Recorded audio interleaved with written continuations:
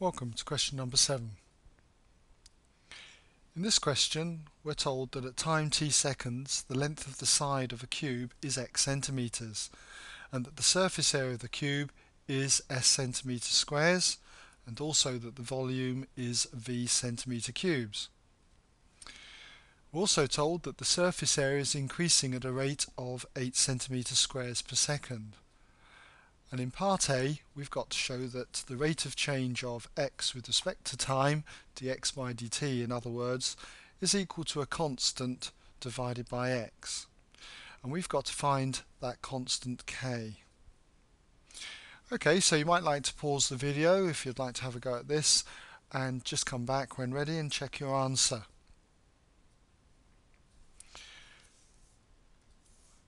So welcome back if you had a go and let's just see how you got on. Now this is a typical question that involves connected rates of change. And whenever I'm doing connected rates of change, I always look at what I've got to find. And in this question we've got to find dx by dt. So I'm going to write that dx by dt over here in the margin equals, and now I use the chain rule. And using the chain rule, this would be equal to the top value, dx, divided by d by something, times d by the same item here, as I would have written here, all divided by dt. Okay? And the million dollar question is, what goes in here? Now, I get a clue in this question anyway that the they tell us that the surface area is increasing at a rate of 8 centimeters squares per second, which is really like saying ds by dt equals 8. So that seems to hint that that should be an s here, ds by dt, which we know is 8. And if I write ds there, I must write it in over here. So this is now giving me the framework in which I'm going to answer this question. Okay, so we know ds by dt. I've now got to work out dx by ds. And what we know is then a connection. We're trying to find a connection between the surface area and the side of the cube x. And that's obviously, uh, very simply, that the surface area, um, let's just put now s equals, that's the surface area s equals, well the area of one face is going to be x squared and all the faces are the same because it's a cube so there's six of them so that must be 6x squared. And from this I can find ds by dx if I differentiate it with respect to x. So therefore what I've got is ds by dx equals differentiating this respect to x just gives 12x now we want dx by ds rather than ds by dx, so that means I've got to invert this. So therefore dx by ds, let's just write that in, will turn out to be 1 over 12x. Okay, I also know uh, the result that I mentioned earlier that the rate of change of the surface area is equal to 8 so that means that the rate of change of the area that's ds by dt equals 8 8 centimeter squares per second. Okay. Now then what I'm going to do is now figure out what dx by dt is by using the chain rule um, expression that I've got up here. So I'm just going to call that back into play. So I'll put but dx by dt equals dx by ds okay ds multiplied by ds by dt ds dt. Okay? Which equals, now dx by ds, we've seen here is 1 over 12x, so I'll put 1 over 12x in,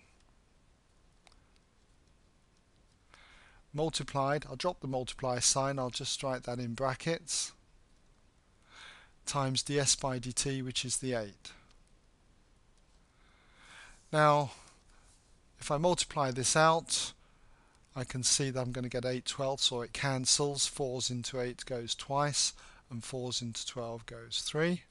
So what that's going to mean is that dx by dt is going to be 2 divided by 3x.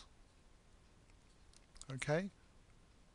This is the same as 2 thirds times 1 over x.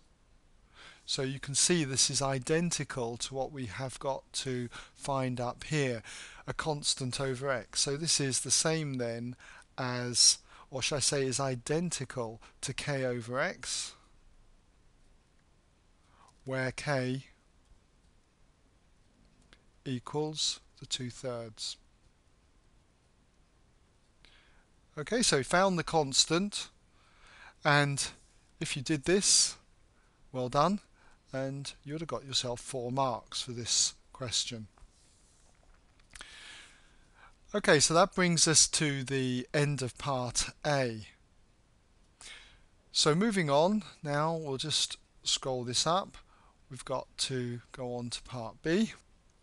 In part B, we're asked to show that dv by dt equals 2 times v to the power third. Now just like in part A of this question, it was on connected rates of change. So I'm going to work off to the right here and try and see if I can figure out what values we're going to uh, connect. So we've got to find dv by dt, so I'll write that in over here. And it's going to equal dv by d something multiplied by the same d something over dt. So the question is, what do I put in here that's the same? Well, I've only got the letter S or X to choose from. Now I know that we've got ds by dt because that was 8. But if I put ds in here, I'm going to have dv by ds here. And I can't think that we've got anything that uh, we can use to uh, work with that.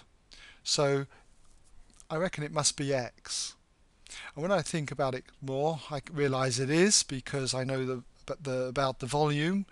Uh, we can find the volume in terms of x of the cube. So I'm going to go for dx.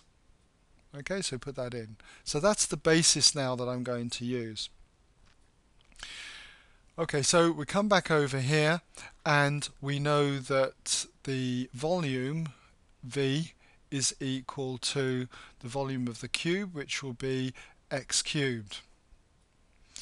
And I need dv dx so therefore I'm going to differentiate this expression here with respect to x so therefore dv by dx is going to equal 3x squared.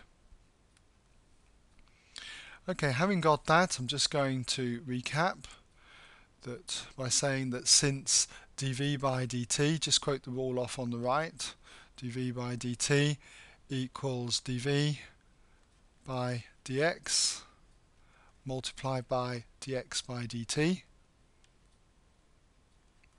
Okay, I can fill this in because dv dx we see is 3x squared, so I'll put that in as 3x squared and multiplied by dx by dt and this was our answer in part A. Remember dx by dt was 2 over 3x so we'll put that in as 2 over 3x. Okay. What I notice now is that the 3's cancel. 3 into 3 is 1, 3 into that 3 is also 1.